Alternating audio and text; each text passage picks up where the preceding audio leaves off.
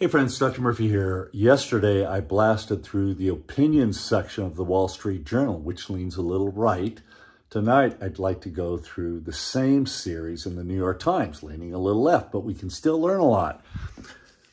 A nursing home with barbed wire and bars. America's prisons are filling with people who are so old they don't remember their crimes.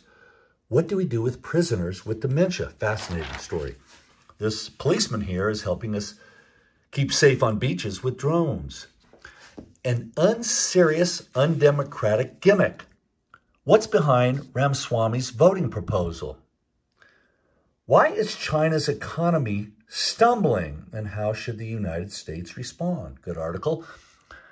Can Britain both bloom and bloom? It's become impossible to build just about anywhere over in England.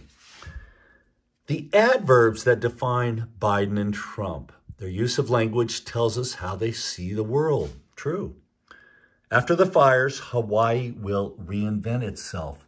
Like other island areas, the state must lead the way to solving our planetary crisis. Oh, I love this one. Spiritual lessons from The Exorcist. The ultimate horror movie is really about heaven and hell. Well, when I was 15 and I saw this, it was one of the worst nights of my life. Back then, I believed in hell. I no, long, no longer believe there is a hell. Teens will make mistakes online. What's next is up to us. As a youth, I overshared online. I wish the adults in my life had handled it better. Inside a dementia unit in a federal prison. Fascinating story. Why I bring up climate change on all my dates. I want to be with someone who's not afraid to face the scary reality of our world. This is a story about fear. The wisdom of the Indigo Girls. In our cynical era, we need cringe music more than ever. I agree. Why is America such a deadly place? Our mortality rates far exceeds those of our peers. It's true. Over the last four or five years, it's changed. I spent five days in a trench in Ukraine waiting for death. Do hundreds of thousands of Ukrainians really want to risk their lives? Did I? Turns out this soldier did. Why haven't we made classrooms safer? Too few schools have used COVID relief funds to improve air quality properly. A conversation with a trans GOP elected official. Jennifer Williams went to CPAC in 2019. Would she go back?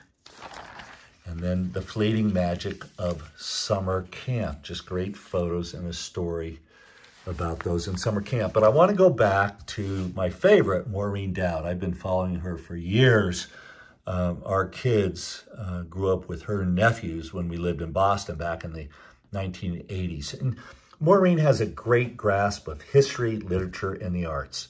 So Where's the Vacuna outrage? For a quiet summer Friday, there was quite a cacophony. Donald Trump crashing around, Clarence Thomas cashing in, Hunter Biden spinning out. News about these men rocked the Capitol, yet there is something inevitable, even ancient, about the chaos enveloping them. Fatal flaws, mythic obsessions, greed, revenge, daddy issues, maybe a touch of Cain and Abel. She concludes, this is wonderful. Hunter is staining his father's campaign as Thomas is smearing the Roberts court, as Trump is dragging down the GOP. Uh, folks, I agree with a lot of this. We don't have to agree, but we can learn from these essayists who have really expertise in their area.